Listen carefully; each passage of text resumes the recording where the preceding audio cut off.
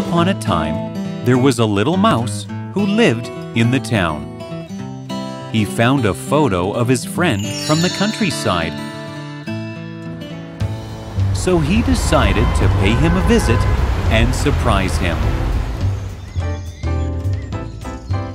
Ugh, this place smells so disgusting. It's smelling of dirty farm.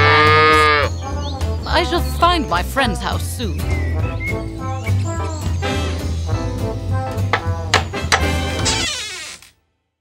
Hi, my dear friend. How are you? I'm all good. I thought of surprising you. What a surprise! Welcome to the country, my dear friend. I am so glad that you came all the way from the city to visit me. The friends started talking for a while. You had such a long journey. You must be tired now. Why don't you go freshen up? Meanwhile, I shall prepare something for you. The country mouse heads towards the farm. Town mouse was freshening up. All right then, let me go and dig some fresh vegetables. Meanwhile, the town mouse finished all the water while freshening up. Ugh, there's so little water. My city is so much better.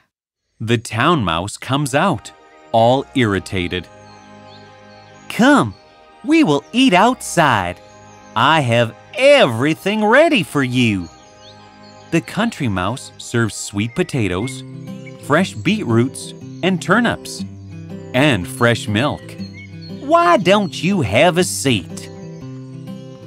The country mouse serves the town mouse. Is that what you eat in the country? Bland food. Just so tasteless. The country mouse tried hard to impress his friend, but he did not succeed. After the food, the country mouse decides to show the farm to the town mouse. Ah, the air is so fresh. I can even smell the scent of those flowers. What's this green stuff?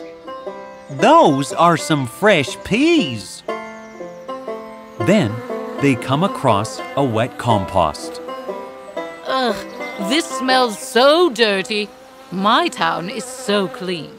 Honestly, my dear friend, I don't like the way you live, eating this kind of food. Surrounded by insects and with all this dirt? Come to my town. You will forget all this. I'm sorry for the food, but there's nothing wrong with my food. Everything is so fresh here. I would like you to come with me to the city for a few days to show you my way of life. I will make you eat cheese, pasta, nuts, and whatnot. That sounds awesome! I am sure you will be delighted.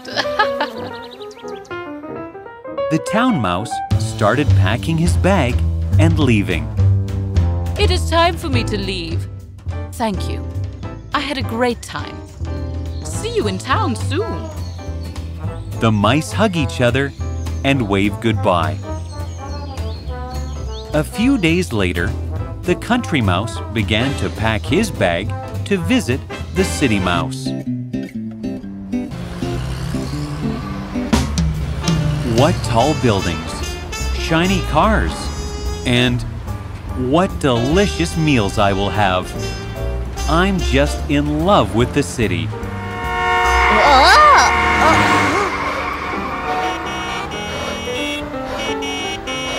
Oh, what a loud noise! He finally reaches the city mouse's house. Welcome, welcome, dear friend. Welcome to my house. The town mouse took the country mouse inside the house. They spoke for a while. When the table was laid by the servants in the house, the town mouse smelt it and said, Ah, come on, my friend. The food is ready. Let's go. The country mouse was very excited to eat that food. Help yourself, friend. There's cheese, milk, pasta, toast, peanut butter, cake, and fruits. Thanks. I am really impressed with your lifestyle. I think I will stay here with you. As soon as he began eating, the servant came back. He got a stick to shoo them away. You filthy little creatures! Here, here, go away! Come, run, let's hide. The town mouse was very embarrassed. Don't worry, friend. We will eat as soon as he is gone. They decided to go out for a walk until the table was clear. Come, I'll show you a place where you get all types of food. What? What is that? The famous department store. They saw a cat on the way who was Run! running at full Run! speed towards them. Hurry up! Hide! Whoa! Whoa! What was that? My heart is pounding so fast. A big fat cat, and she will go in a minute. Just stay quiet. After the cat went, they entered the department store. The country mouse saw something strange looking. What is that? Be careful! It's a mousetrap. What is a mouse trap?